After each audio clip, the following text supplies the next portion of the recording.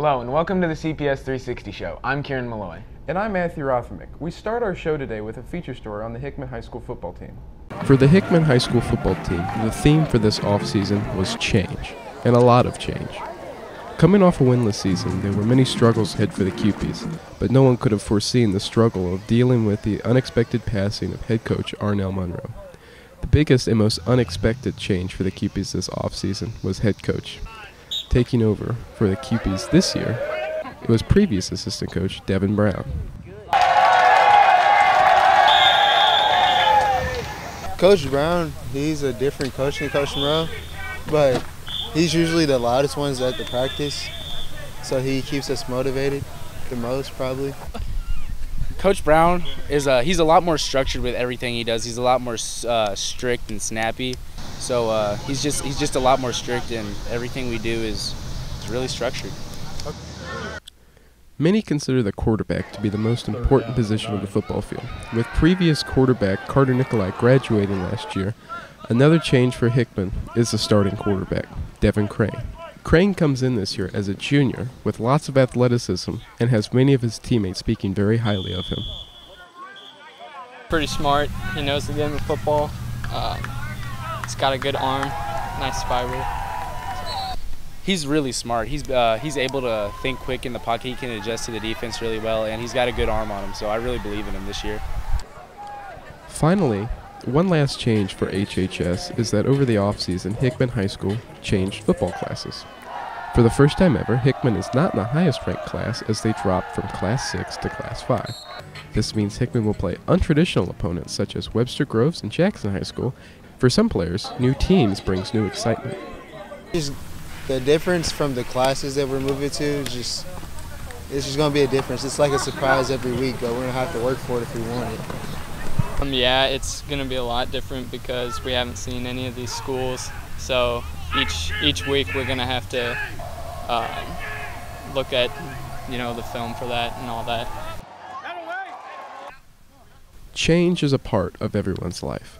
Some people like change and even more hate it, but for the most part, change always seems to be for the good. While the effects of all these changes for Hickman haven't been noticed yet, let's hope that all these changes will lead the Kewpies back to winning ways.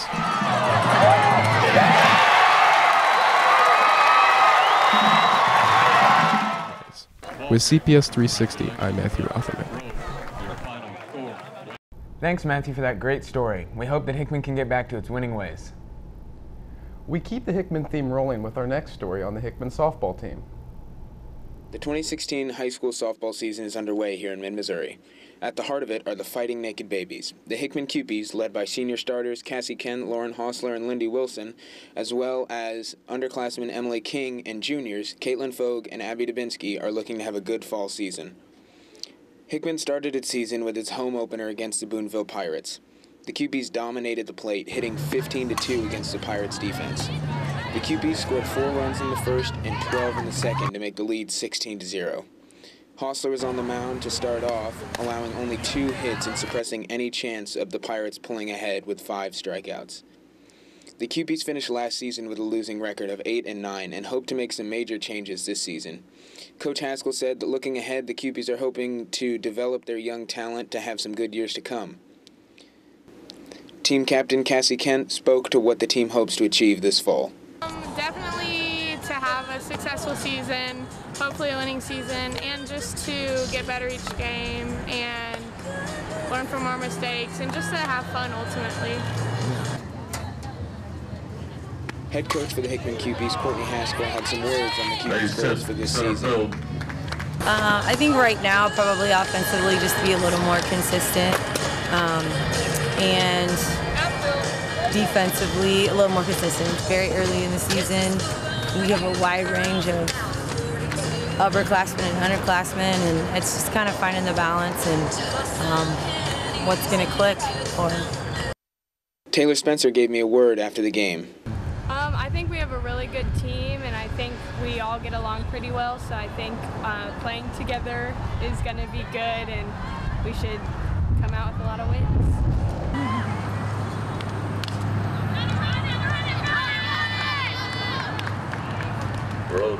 Thank you. With CPS 360, I'm Kieran Malloy.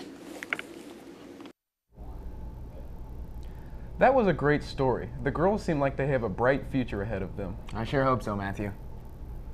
We step outside the city limits for our next story by Alex Weimer. He brings us a feature story on the Hallsville football player Jaden Kilpack. Starting wide receiver, DECA state qualifier, state champion pole vaulter, Jaden Kilpack is a senior at Hallsville High School. He is an academic standout and a leader on this year's football team. He he's the more outspoken one of our leaders.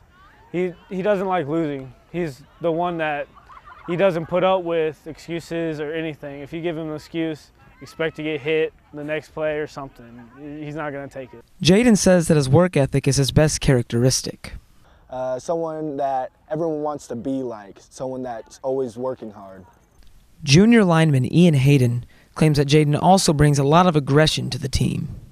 Jaden's always energetic at practice. He's never complaining about this or that or about how hot it is. He's always working hard. He earns a lot of praise for his concentration and athleticism. I think I bring a lot of uh, intensity to it. Uh, in the game, I'm able to uh, work hard and everything, and during practice, I'm able to have fun and uplift everyone, and we're all joking around and having a lot of fun. Favorite moment from Jaden would be Fayette last year. He went up for an interception and he caught it, and the the receiver hit him in the back and he did a backflip, landed it, and took off. For CPS 360, reporting from Hallsville, Missouri, I'm Alex Weimer. Boy, Jaden sure seems like one heck of a ball player they've got down there in Hallsville. We wish him the best of luck this season. We move from the Indians to the Bruins with a story by Savannah Singletary on the Rockbridge volleyball player Avery Schroeder. Rockbridge Lady Bruins volleyball 2016 roster has a standout player. Senior Avery Schroeder, you can't miss her. Standing at 6'5", it's pretty impossible to. But her height came at a price.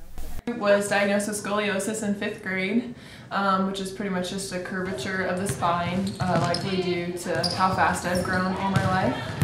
And so it finally reached the point where my curve was big enough where I was going to require surgery at some point in my life. I had that done in April of 2015. Avery is a two-sport athlete playing in volleyball in the fall and basketball in the winter. Just really getting into the swing of how high school sports work, she has this surge. It was obviously a little bit nerve wracking, but I knew it was something that I needed to do um, and that was going to help me later on in life. So I tried to go about it pretty uh, calmly and confidently. Senior Blake Metz and Avery have been best friends since the first day of kindergarten. I I happened to be in Kansas City where she was having her surgery done, and so it was just perfect time. And I went over to the hospital and I bought her this giant teddy bear, and she's named it after me now. so it now, but apparently helped her while she was in the hospital too. So feels good that I could help too. I'm really happy with everything. Um, my doctors did a great job. I owe a lot of thanks to them. New varsity coach Erin Kincaid got a coach's dream. Extremely coachable. She will do anything that you ask her to do. Um, she's a hard worker. Um, if I tell her to um, to swing harder, swing faster, she will do it. If I tell her to move quicker, she'll do it. If I tell her to um, guard the line, she'll do it. So extremely coachable, um, high work ethic, um, and very positive individual. You can catch Avery at the next Rockbridge Volleyball home game on September 27th at 5 p.m. I'm Savannah Singletary for CPS 360 Sports. Nice story, Savannah. Now let's go to some early season highlights from some of the Mid-Mo teams competing this fall.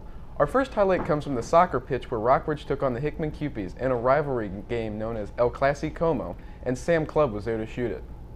It's that time of the year again for Hickman Rockbridge Soccer. Both teams came into the match ranked high in the state. Both the Brew Crew and Dog Pound Order came to support their schools. Early in the match, it was senior Sean Kenning who started the scoring for the Bruins. By the 21st minute, the lead doubled when senior Ryan Imhoff racked up a goal. The Bruins would add two more goals and increase their lead to four by the half. The senior leadership helped the Bruins shut out the Kewpies 4 to nothing. Our next highlight features the Hickman soccer team once again. This time they took on the Jeff City Jays, and Ben Elmore had the camera rolling. We start off at Hickman High School with a beautiful night of soccer. Hickman Kewpies versus the Jeff City Jays. This was supposed to be an easy one for Hickman after coming off a loss to DeSmet High School. It ended with the battle of two great defenses, and this was unexpected. Hickman's goalie Jacob Gunn versus Jeff City's goalie Cord Pearson. Hickman made it close to the goal, very, very close, and attempted over four times but never made it in. After two overtimes, with no score on the board, an unexpected ending to the night, Bryden Corin shot the winning goal for Jeff City to win it 4 2.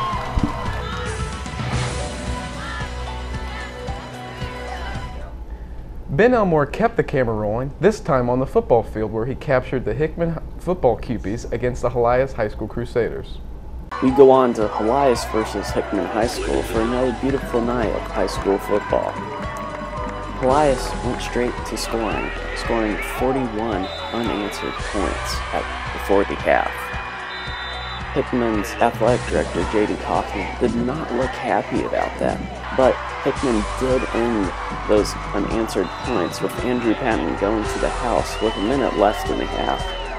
Hickman scored again in the second half thanks to a 60-yard run by Christian Davis.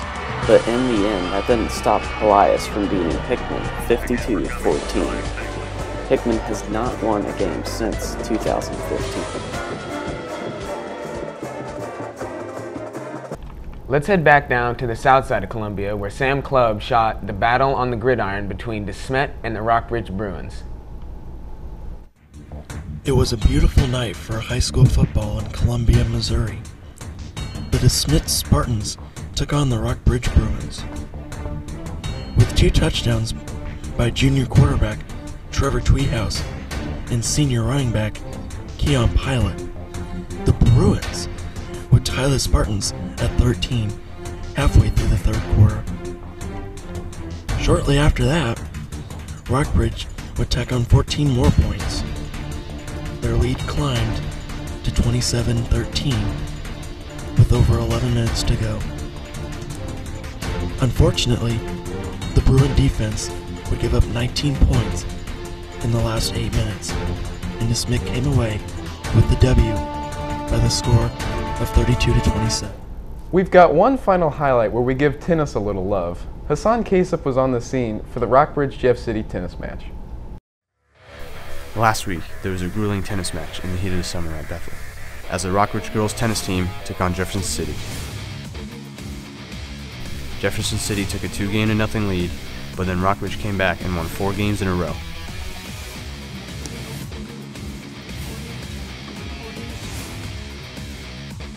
Jeff City only won one more time, and the final score came to be six games to three, with the Bruins on top. It's safe to say that the fall sports here in Columbia are in full swing. Thanks to Sam and Ben as well as Hassan for the great highlights. Well, that's all we've got for our show today. I'm Matthew Rothermick. And I'm Kieran Malloy with CPS 360 Sports.